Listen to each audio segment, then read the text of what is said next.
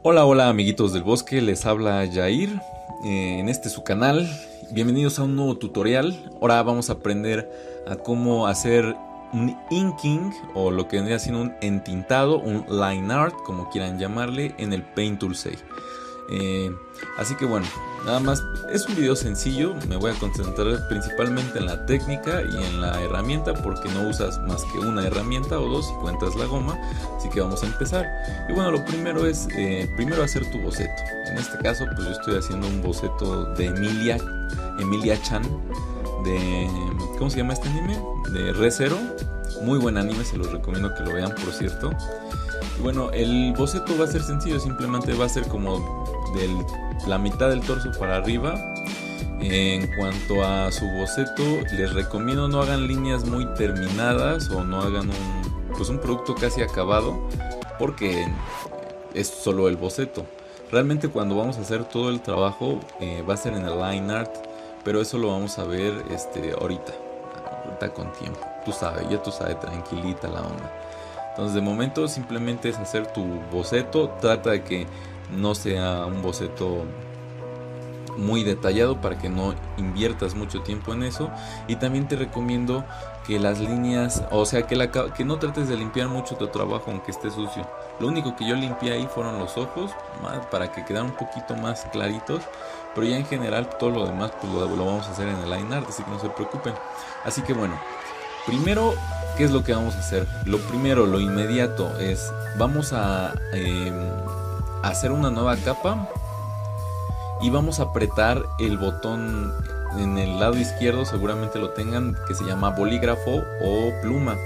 Con el bolígrafo o pluma y una vez creamos una nueva capa vamos a bajarle la opacidad a nuestro dibujo y posteriormente pues ya que le bajemos la opacidad algo que nos guste que quede como más clarito el dibujo de fondo el sketch vamos a empezar a hacer el line art eh, para hacer el line art simplemente eh, vamos a seleccionar ya sea como les dije el bolígrafo o la pluma, porque creo que son dos diferentes. Y vamos a empezar a este, dibujar sobre el boceto que hicimos.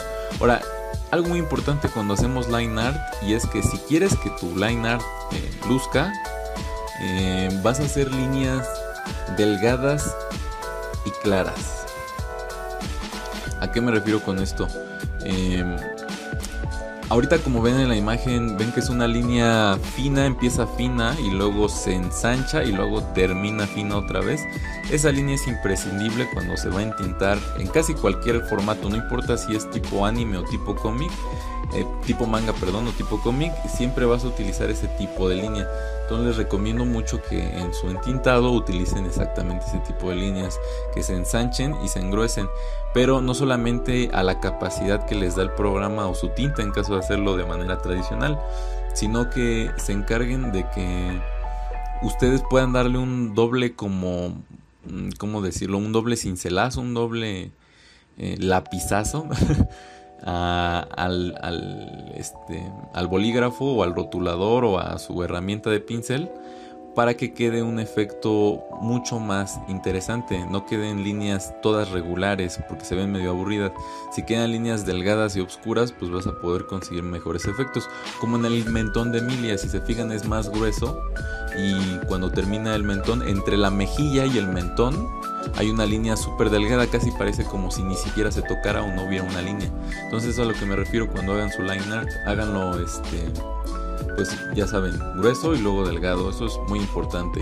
Ahora, si están haciendo line art con su tableta digital como yo, y si su tableta digital es una Wacom o una Intuos, bueno, perdón, una Intuos o una Intuos Pro o una Bamboo o una Intuos de las normales, probablemente les cueste mucho trabajo hacer el line art. Yo personalmente no hago mucho line art puesto que no me acostumbro, no me más allá de acostumbrarme no me es placentero hacer line art con una tableta, a no ser que tuviera pantalla, pero pues como el dinero no lo permite, entonces es con la bambú.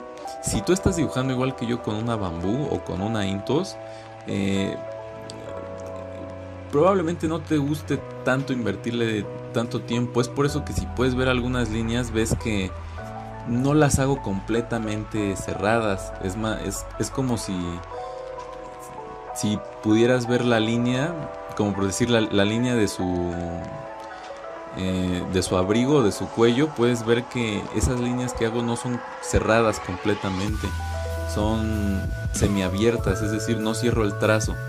¿Esto por qué lo hago? Pues porque cuando vamos a pasar a colorear el dibujo verán que realmente no es necesario hacer eso. De hecho, lo recomendable es este, no cerrar todas las líneas para darle un efecto pues más coqueto, más bonito, más locochón.